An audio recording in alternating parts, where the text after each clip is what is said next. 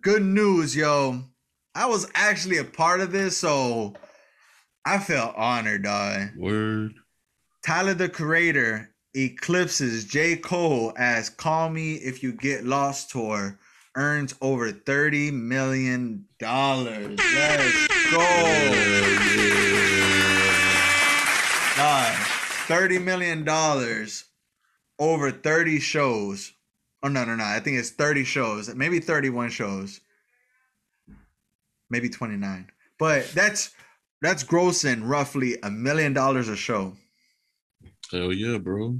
Bro, dog, that's blessings, yo. So right now he is the number one touring artist post pandemic. But He's like the only touring artist, nigga. I'm, I'm yeah, that that's the only thing. It's like the only person he's surpassing right now that is doing numbers is J. Cole. And J. Cole still haven't done Dreamville, Dreamville yet. Well, he, he did uh he did the off season. Well, the album wasn't really that great. He should have took that season off too. I didn't say that. that was Uh, Ozzy. That was Ozzy. I'll tell you. I'll tell you who's gonna pass that. The Weeknd when he does when he starts his world tour yeah, because he's doing But- stadiums, dog. the Weeknd. The Weeknd is R and B for me, but for the mainstream, he's pop. Tyler the Creator did that motherfucking. You made my earthquake. Oh yeah, you think that's pop? I mean, it's for mainstream, right? They categorized it as hip hop, and that's why he was mad in the Grammys. That shit is ridiculous, bro. Yeah, but uh, well, do they categorize uh the Weeknd as pop or or R and B? I think it's pop. I think they categorize him as pop, I think but it's uh not pop though. I feel like it's R and B. I I think mean, his- Doja Cat too. She's pop.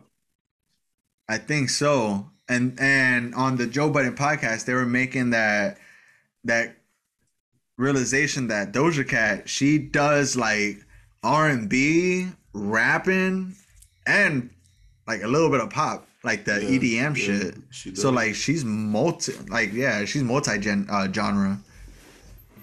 Uh, people out here that gotta do that shit. I I don't man. Yeah, I ain't even, I ain't gonna talk about other people, but um, but no, yeah. I just wanted to give a shout out to Tyler Creator. That was one of the most incredible shows I've seen. I think Igor was better. I'm not gonna lie, but this show was incredible. You can actually see it on Amazon. I want to say Amazon Video. What's that shit called? Oh, Amazon? Prime Yeah. Video. Amazon Yeah. videos. Uh, it's like an hour and a half long, but it's definitely worth it. Like I I played it like twice already just to get that that refill. Relive, yeah, relive Yeah. that shit. But it doesn't have the openers though. That was the only thing. Like I was used like I I- I watched Vince Staples, Kali Uchis, and Damn, you see Vince. Staples? I said Kali Uchis. Damn, that's that's Yo, huh? bro. Oh, telling you, she, she she's the future. Uh, let's fade right out of the episode.